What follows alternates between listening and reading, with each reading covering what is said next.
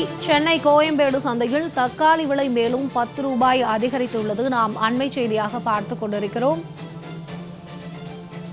ஒரு கிலோ தக்காளியானது நூற்று பத்து ரூபாய்க்கு விற்பனையாகி வருகிறது. நாம் அண்மை செய்தியாக பார்த்துக் கொண்டிருக்கிறோம். இது குறித்த கூடுதல் விவரங்களை செய்தியாளர் லிபிகா வழங்க கேட்கலாம். வணக்கம் லிபிகா. தற்போது சென்னை கோயம்பேட்டில் ஒரு கிலோ தக்காளி நூற்று பத்து ரூபாய்க்கு விற்பனை செய்யப்பட்டிருக்கு.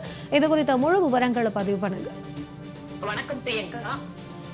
கடந்த ஒரு வார காலமாகவே தக்காளியின் விலையானது அதிகரித்துக் கொண்டே இருக்கின்றது. குறிப்பாக கடந்த சில மாதங்களுக்கு முன்பு ஒரு கிலோ தக்காளியின் விலையானது ஐந்து முதல் பத்து ரூபாய் வரை விற்கப்பட்டிருந்த நிலையில் தற்போது கடந்த ஒரு வார காலமாக தக்காளியினுடைய விலையானது மீண்டும் உச்சத்தை தொட்டிருக்கிறது என்று கூறலாம். அந்த அளவிற்கு ஒரு கிலோவின் தக்காளியின் விலையானது மொத்த சந்தையில் நூத்தி பத்து ரூபாய் வரை விற்கப்பட்டு வருகிறது. அதே போன்று வெளி சந்தைகளில் நூத்தி இருபது நூத்தி முப்பது வரை விற்கப்பட்டு வருகிறது.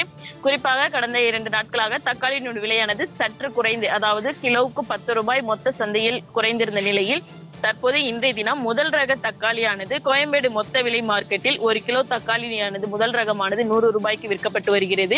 இது நேற்றைய தினத்தை ஒப்பிடும்போது முதல் ரகத்தில் பத்து ரூபாய் அதிகரித்திருக்கிறது. அதே போன்று இரண்டாம் ரகம் தக்காளியினுடைய விலையானது ஒரு கிலோ தொண்ணூறு ரூபாய்க்கு விற்கப்பட்டு வருகிறது. இதே போன்று சென்னை கோயம்பேடு சந்தையில் இருந்து தக்காளியை வாங்கி கொண்டு பல்வேறு இடங்களில் சிறிய கடைகளிலும் விற்பனையானது செய்யப்பட்டு வருகிறது.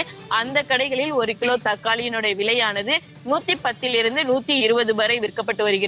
சென்னையை பொறுத்த கோயம்பேடு மார்க்கெட்டை பொறுத்தவரை ஆந்திரா கர்நாடகா போன்ற மாநிலங்களில் இருந்து தக்காளியினுடைய வரத்தானது நாள் ஒன்றுக்கு கிட்டத்தட்ட எழுபது லாரிகள் மூலம் வரும். ஆனால் தற்போது இந்த பயிரிடாமல் விவசாயிகள் பயிரிடாமல் போனதின் காரணமாகவும் தக்காளியுடைய விளைச்சல் குறைந்த அளவிலே இருக்கிறது.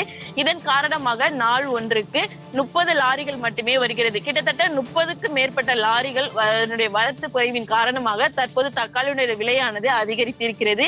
இந்த விலையானது இன்னும் ஒரு மாதத்திற்கு நீடிக்கும் எனவும் வியாபாரிகள் தெரிவிக்கிறார்கள். தொடர்ந்து சமீப காலமாக இந்த விலையேற்றம் காரணமாக மக்கள் பெரிய அளவிலே பாதிக்கப்பட்டு வருகிறார்கள். குறிப்பாக இல்லத்தரசிகள் தக்காளியுடைய விலையேற்றத்தை பொறுத்தவரை மிகவும் வேதனை தெரிவிக்கிறார்கள்.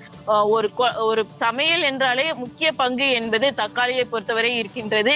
தற்போது இந்த தக்காளியுடைய விலையேற்றம் என்பது பெரிய அளவில் இல்லத்தரசிகளிடையே வேதனையை அளித்திருக்கிறது பிரியக்கா லிபிகா உங்களுடைய விவரங்களுக்கு நன்றி.